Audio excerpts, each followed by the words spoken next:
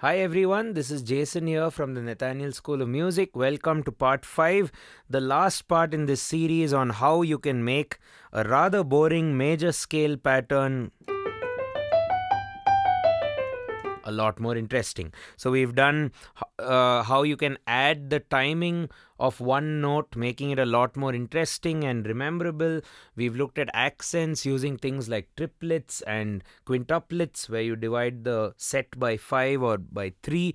Then we've looked at swing, a very important jazz and blues performance methodology.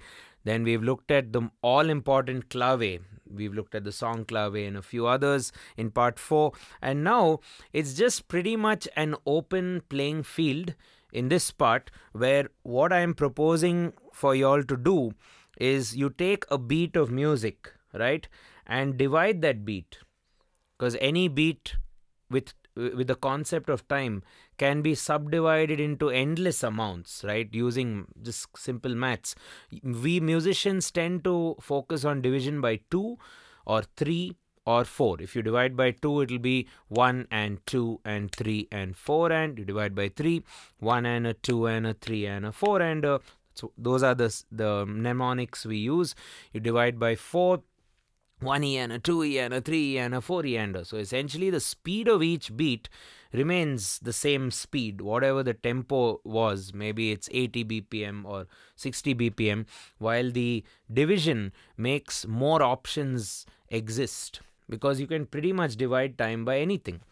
So if you take one beat in a time feel as i call it so let's say you're dividing by 4 and you go 1e and a 2e and a 3e and a 4e and a, and you observe one of those beats, you don't have to play 1e and a 2e and a 3e and a 4e and a 1e and this feels a bit too cluttered up.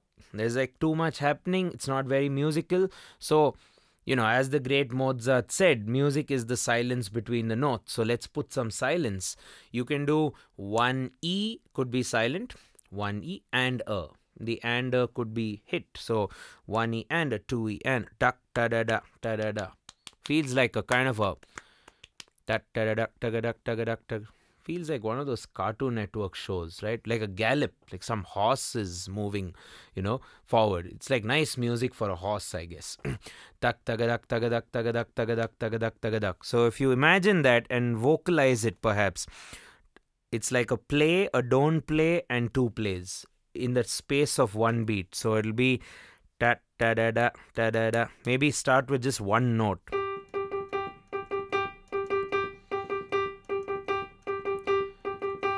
Right? You could call this the gallop, and you go.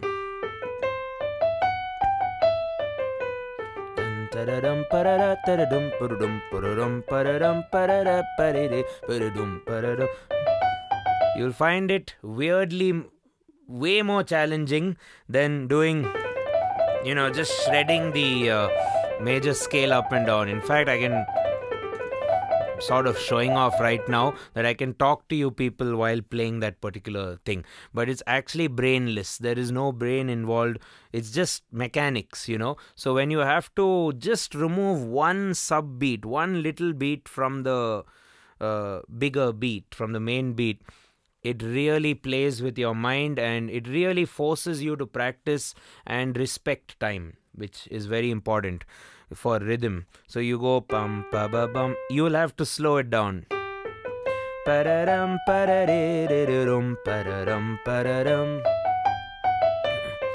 now, what if I combine the gallop with just something very mundane and normal, like tum pararam pum pum pararam pum? What did I do now? One e and a two e and. So two e and I just didn't do the e's and the er's, making it less energetic, and it's just the main beat and the half beat at halfway point beat. Pum pararam pum pararam pum pum. You'll observe one thing very cool even though it may be easier to play, it's a lot more interesting to hear right? If you, if you try playing this for your friend or someone at home i'm sure they like this a lot more.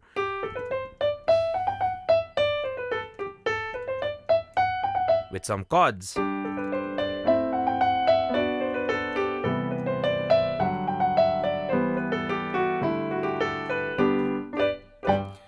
So it's just automatically a way to make melodies, or you, it's like a universal set of options where you go up and down the entire scale. So, melody, for all we know, has a lot of rhythm going on for it, and you just have to possibly not go all the way up and all the way down, create a few sub variations or smaller subset movements, and you may like what you play, and you could use it in a song, I hope. Okay, and that was about the division by 4 time feel. You could also do over the divide by 3 time feel, which is a triplet. So instead of doing one triplet, one triplet, one, which we did in part number 2 if you followed, right? Hopefully you guys have watched all the four parts. It'll be nice if you have coming then to this part which sort of concludes it.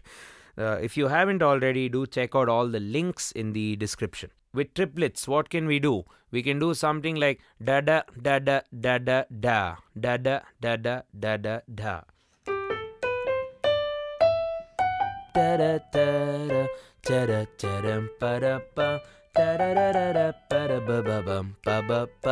You have all these different interplays of uh, triplet permutations, and again, you hold your shape. You don't you don't alter the motion as ascending and descending.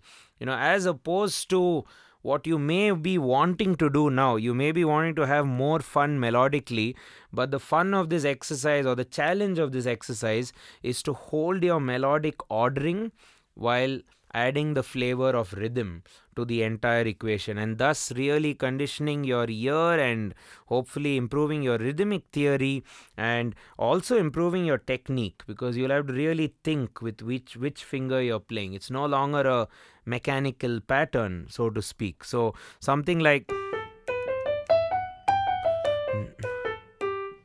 right I quite like just playing with triplets, you know, uh, and improvise and see where it goes. So, in a sense, there is a lot of improvisation going on. It's just that there's no improvisation of notes because the note choices are, are fixed. There's a ton of rhythmic improvisation going on here. So that's another very important thing I wanted to convey in this series that improvisation is not about only the chord tones or the modes or the fancy uh, tensions and jazz embellishments and stuff. It's just also about rhythm. In fact, rhythm is the foundation of it all.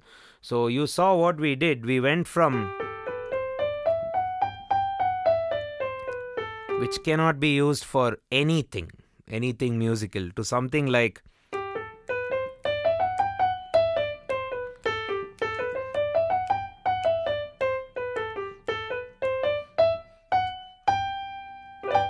Right everyone, hope you found our 5 part tutorial series interesting. If you did, please share the video and our channel with all your musician friends.